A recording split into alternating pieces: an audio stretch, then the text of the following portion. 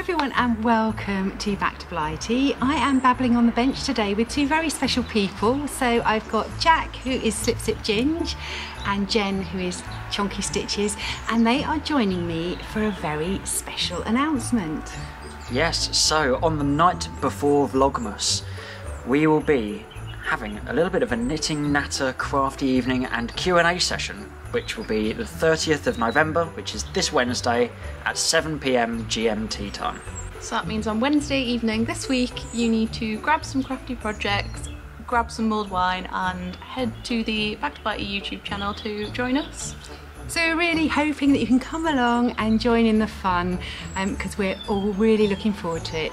See you there. See ya! Bye!